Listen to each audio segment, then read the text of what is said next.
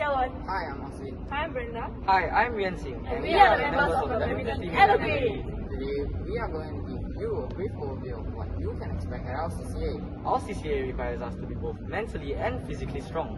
That is why we have CCA for at least two days a week. Our CCA session normally start with some light joggings, followed by some floor drills, before we move on to our multiple shuttles. Lastly, we usually end our trainings with some inter-team competitions. For those who are interested to join our CCA, do check out the link below to sign up and find out more about our CCA. We hope to see you soon in our CCA.